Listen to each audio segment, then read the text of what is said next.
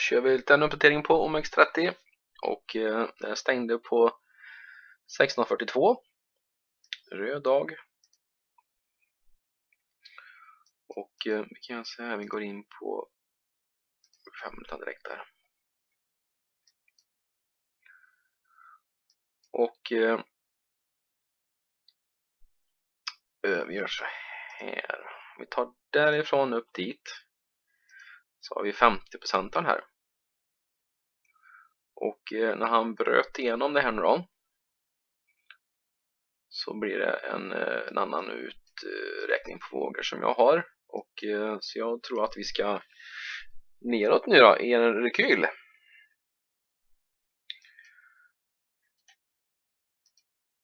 Om vi gör så här. Kolla in hiken kan vi göra här. Eh, vi har haft 14 dagars uppgång.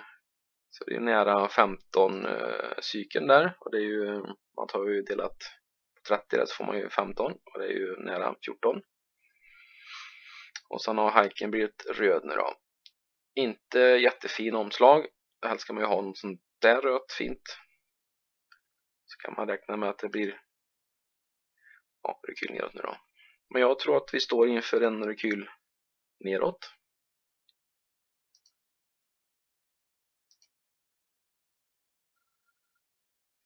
För nu har han, eh, kan man säga, brutit en nyckelnivå här på intradag. Men när vi går under, ja, skulle vi stänga under här botten då, på 1628, 1629 där, då får vi in en riktig ja, säljsignal. Och eh,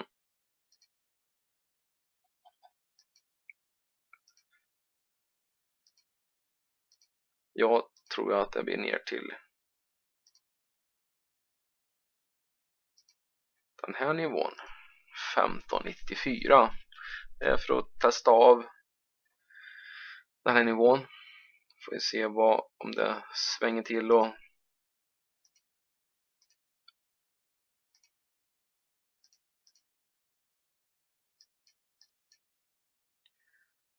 tar vi retracement. Och eh, jag tror 1600 nivån eh, 50% kommer in på 1699 här i det här programmet men ehm, ja, jag kan, säga target ner till eh, 1600 det är ju ett jämnt tal också. Och sen är det för att testa av den här utbrytsnivån här då, som är nu då. Och eh, Emma 50 som har haft stöd här förut. Kommer ju också här nu, det kommer ju att gå upp lite mer här då men det kommer ju bli någonstans där på 1600 nivån och det är lite nu för USA går rött och eh, tar man Avanza Kika snabbt här. Så här är det på 0,54. Uh, eh, nu kan, här kan man inte se någon nivå kan man inte göra men uh, jag tänkte jag ska göra uppdatering imorgon där. För jag, jag har ju inte interdags uppdatering på, på realtime utan det ligger ju en dag efter har jag på den här.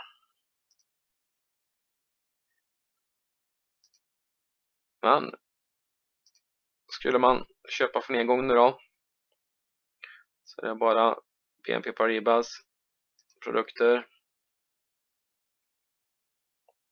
Och nu som jag har mini short det är för nedgång, gå kort. Och eh, mini short OMX30 så har man ju diverse koder här som man tar och skriver in. Så lär man ta nu då så att vi tar den här nu då. Nu är det med 16 hävstång då. Han tar ju Vansa.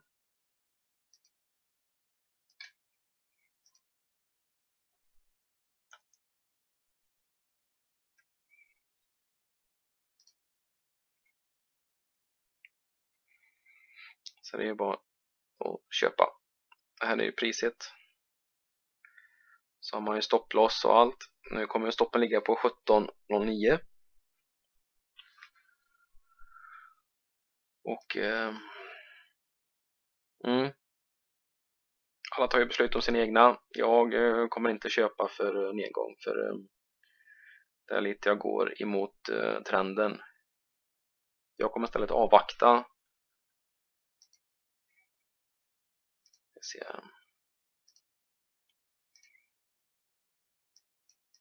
Jag kommer ju avvakta här tills se ser vad som händer om vi får in någon fin eh, formation då, för uppgång. Då kommer man köpa stället.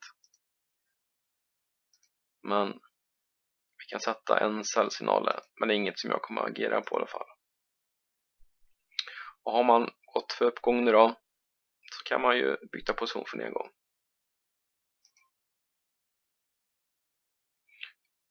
Och eh, om man vill kan man bara köra Markanashi så länge, om det blir rött nu då och det faller ner så jag bara ligga kvar. Och sen när det blir grönt på Hakanashi så det är bara att köpa för uppgång.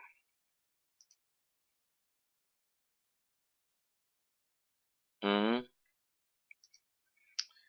Vi kollar in eh, SV500 här nu då.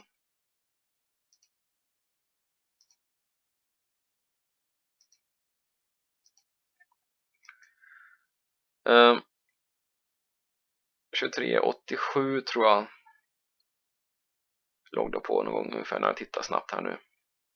Precis innan filmen då. Så är vi någonstans här. Frågan är om vi ska ner sen och tappa igen diverse gap här nu då. Och även eh, MA50 kommer gå under här. Jag har ju köpt i USA där. Ja, det kommer ligga kvar. Jag har stoppen här under skrivit stopploss har jag gjort på den nivån. Jag går ur bara om det stänger under. Men jag tror att vi ska ner och täppa igen det här. För det blev, när han gick över här nu då efter ehm, ja, valet där i Frankrike så fanns ingen eh, ja, tryck vidare uppåt. Alltså kraften och slut i det behövs nog en liten rekyl för att hämta in köpare och vad det är. Mm. Yes. Ja, eh, men vi nöjer oss så. Jättebra. Hej svejs!